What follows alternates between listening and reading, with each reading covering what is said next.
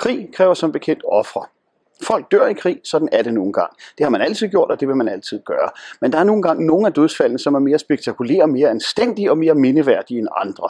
Nogle af dem, vi har været vant til ikke at tænke særlig meget på, vil nærmest at fortrænge i virkeligheden, det er dem, der bliver skudt af deres egne efter retssager, altså folk, der bliver anklaget for en eller anden form for militær forseelse, bliver dømt til døden og skudt ved morgengry. Øhm, vi befinder os i den lille belgiske by i øh, Poperange, som ligger nogle kilometer vest for Ypres. Vi er bag ved frontlinjen frontlinjen. Vi er dybt inde i det engelske kerneland her.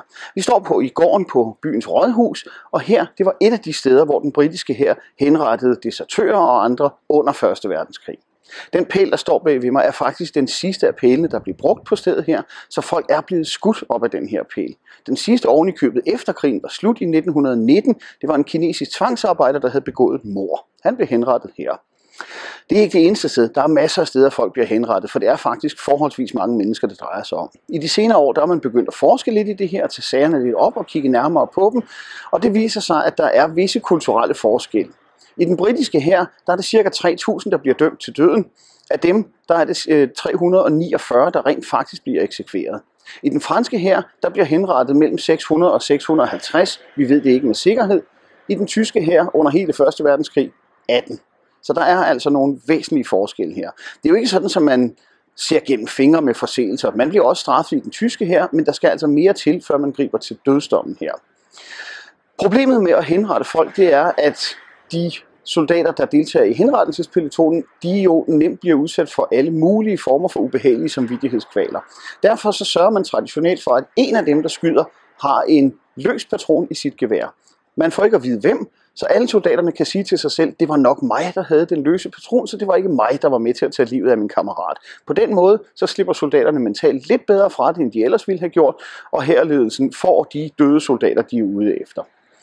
Øhm, de fleste af de henrettelser, vi har, de er på den konto, der hedder kujoneri. Det er desertør, det er folk, der simpelthen pludselig begynder at skrige højt, ruller med øjnene for frode og munden, kaster deres gevær og stalker afsted i den gale retning, nemlig bagud. Det må man ikke, når der er krig. Det er simpelthen folk, som man beslutter sig til, de er nogle kujoner. Og kujoner, de er bange, og derfor skal de dø. Og så stiller man dem op af en pæl og skyder dem. I dag, der ved vi selvfølgelig godt, at det ikke er helt så enkelt alt sammen. I dag, der har vi et navn for det, vi har en diagnose, det er posttraumatisk stresssyndrom.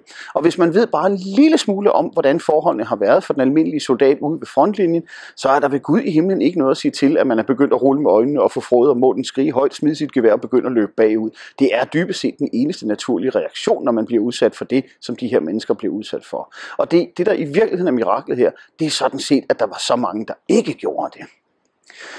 I øh, slutningen af øh, det forrige århundrede her op til, øh, til, til 100 års jubilæet for krigens udbrud, der var røster fremme om, at man måske skulle prøve at kigge på nogle af de her retssager fra 1. verdenskrig tilbage i England.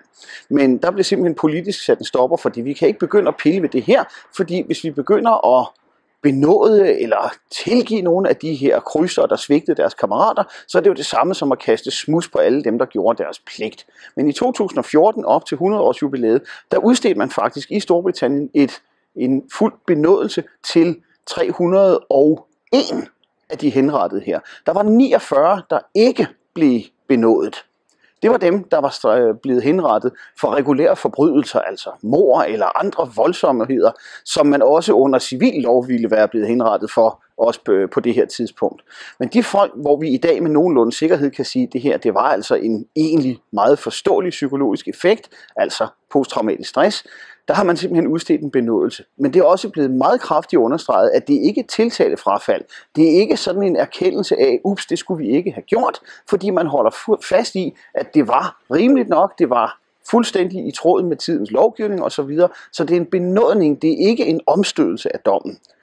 Det betyder dog alligevel, at vi er lidt begyndt at forlige os med det her. Der er simpelthen også blevet rejst et mindesmonument for de soldater, der blev skudt af deres egne herrer.